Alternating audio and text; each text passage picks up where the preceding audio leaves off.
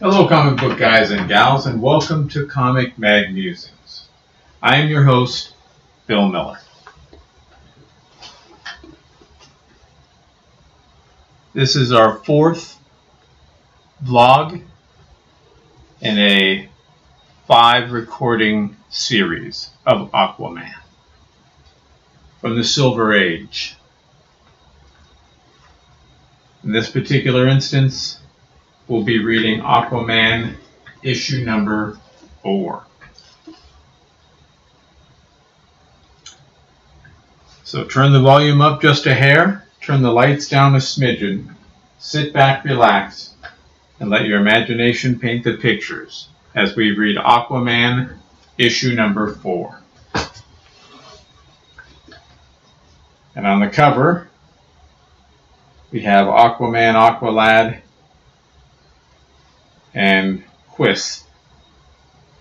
And it looks like there's some sort of creature firing a ray gun of some sort at them. Aquaman says, one of those aliens has encased us in an energy bubble, and the other is about to fire at our little water sprite friend, Quisp. An amazing three-part novel featuring the King of the Seven Seas and his young ally, Aqualad. From out of nowhere it appeared, a floating chunk of land that skirted the coastline, bringing catastrophe in its wake. Where did it come from? Why was it here? Who were its inhabitants? These were but a few of the puzzles confronting Aquaman and Aqualad as they set out to challenge the menace of Alien Island. Duck Aqualad, someone's firing strange glowing missiles at us. Aquaman pushes Aqualad down as we see a burst of light above them. A dawn mist blankets the coastal waters, and Aquaman and his young ally Aqualad start their maritime patrol when Jumping jellyfish! Look, Aquaman! A freak tidal wave about to hit that fishing village. Great waves. We'll need plenty of assistance if we hope to save all the villagers. A telepathic message issues from the Sea King, and then, after racing to the scene, Don't worry, folks, more help is on the way. And we see the village flooded with the water line up to the roof of several of the houses. Shortly, as an army of octopi arrives, we'll have to get all those people off the rooftops and onto that higher ground. The rescue proceeds according to plan as up you go, the octopi chain will take care of you next. So the octopi have chained themselves from the village to the water in the village, from house to house, to a point of higher ground. And they are shifting the people back and forth like a bucket line. But just then, oh no, another tidal wave, twice the size of the first one. Nothing can save the rest of the people now. You're so wrong, Aqualad. What? It's Quisp, our little water sprite friend. And as the strange miniature marvel from a world beneath the ocean floor demonstrates his amazing powers, Lucky I decided to visit you at this time. I can easily handle that wave. Great day that the tidal wave was stopped cold. Now back to the sea with you. And Quisp raises his hand and with an energy beam stops the wave and pushes it back from whence it came. And while I'm at it, I may as well get rid of the rest of the water too. Good work, Quisp. Come on, Aqualad. Let's help the people down from the rooftops. Presently, Aquaman, how can we thank you enough for saving our lives? Your thanks should really go to my little friend Quisp. I'd like you all to meet him now, but... Great guppies, he's gone. Isn't it just like Quisp to pull a vanishing act? Suddenly, as the dawn mist clears, Great Scott, look, just offshore an island. It, it wasn't there before. It must be a floating island. Yes, and it may be responsible for those tidal waves. Come on, Aqualad. We'll check it out. Minutes later, as the aquatic aces reach the island shore, I wonder where this island floated from. Maybe we'll find a clue in the interior through this pass. But midway through the pass, a strange glowing object shooting out of that hole in that hill. The dirt hit the dirt, Aqualad. Bam! Whew! Sure glad you pushed me out of the way in time, Aquaman. But look, I think another one's about to shoot out. Swiftly, the sea sleuth hurls a rock with unerring aim. Blam! Good work, Aquaman. You wrecked that strange shell right in the barrel hole, but what's this all about? So, out of the side of this uh, mountain pass comes a missile that explodes, and then before the second one can shoot out, Aquaman destroys it. We should know once we're beyond the pass. Come on. Soon. Look at the strange vegetation. I've never seen anything like it before. Hmm. Same here. Abruptly, Leaping sea lions, what, what's happening?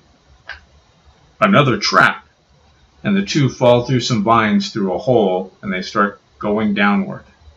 And when they hit the bottom of the deep pit, These shiny, smooth walls can't get a grip on them. We'll never get out of here, Aquaman. yes, and without water, we'll both be dead within an hour. Just then, wait, Aqualad, those seagulls. They're our one chance. An SOS is telepathized to the hovering gulls, and the message is relayed to a signal fish on the surface. Next to receive the desperate bulletin is a pair of powerful conger eels who swim swiftly to the seafloor where, and before long, a thrilling rescue ens- ensues. That's it. Up we go. And so the seagulls grab some seaweed from the eels and they drop the seaweed down into this hole with which to rescue Aquaman and Aqualad. And as they crest the hole that they fell down, thanks, pals, and the seagulls fly off. It looks as if this whole island is booby trapped, Aquaman. Maybe we want to make tracks off it. Not until we find out what's behind it all, Aqualad. At that moment, look, Aqualad, some sort of elevator coming up out of the ground. And next instant, You very cleverly escaped those trapped earthlings, but you will not be so fortunate when I press the trigger of my ray gun. An, an alien being!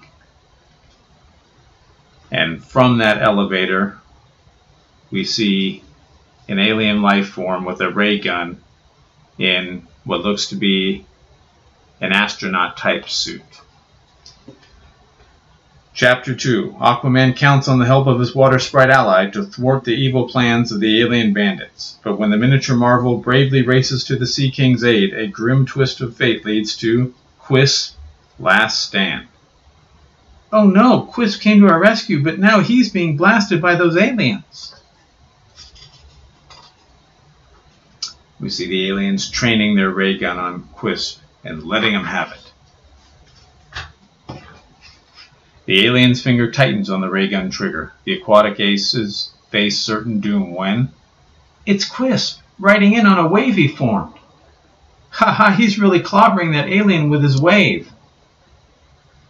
Good work, Quisp. Now I'll take over. So Quisp attacks the alien with the water wave upon which he was riding, and then Aquaman follows up with a right cross. That's that. Now the question is, where'd that alien come from? I don't know, but there are some more of them underwater. What? Uh huh. That's why I fled so suddenly before. I caught sight of them, and when I went to take a look, when I came back to the mainland to inform you, I was told you had gone to this island.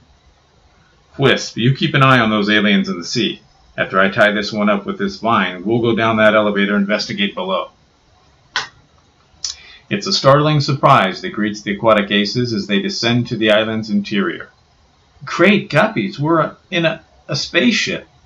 Yes, and look, there are more aliens, but these seem to be imprisoned behind a kind of force wall.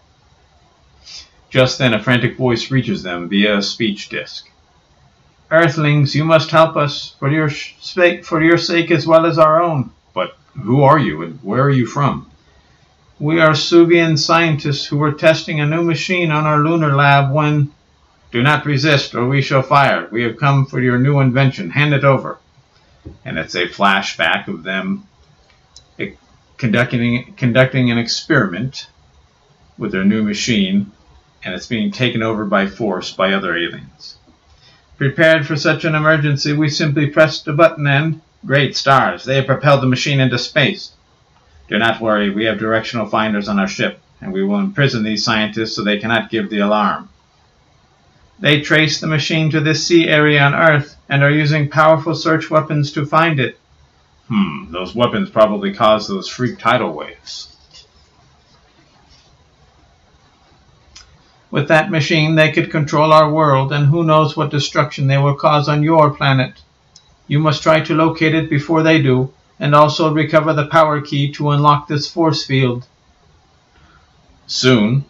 No sign of those aliens anywhere yet, Aquaman. I wonder if Quisp spotted them. And Aqualad and Aquaman dive into the ocean. Suddenly, Aquaman, there's one of them now. Psh! He's firing at us and as the fantastic shot reaches its helpless targets, we're enclosed in some kind of energy bubble.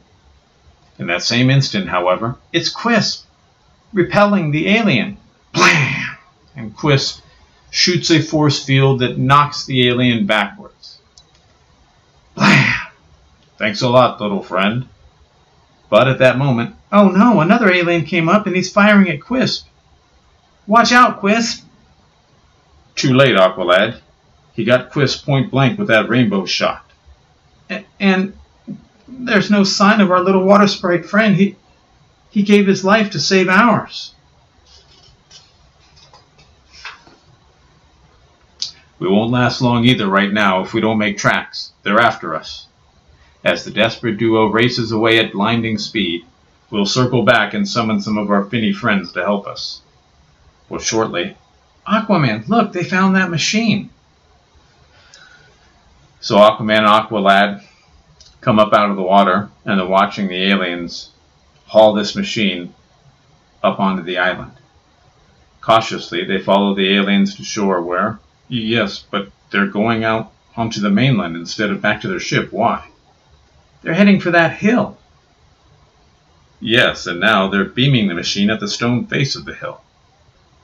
Look, Aquaman, a, a giant figure is being formed out of the rock face. Yes, a stone robot they're able to control. No wonder those good aliens were so afraid of these bandits getting hold of that machine. Just think, with that single machine, they could create a whole army of robots out of rocks or any other substance. Obviously, what they're doing now is testing it. Abruptly, those fishermen are firing at it. And we see some fishermen in a jeep, bam, bam, bam, firing pistols at the rock creature. Jump. You haven't got a chance against it.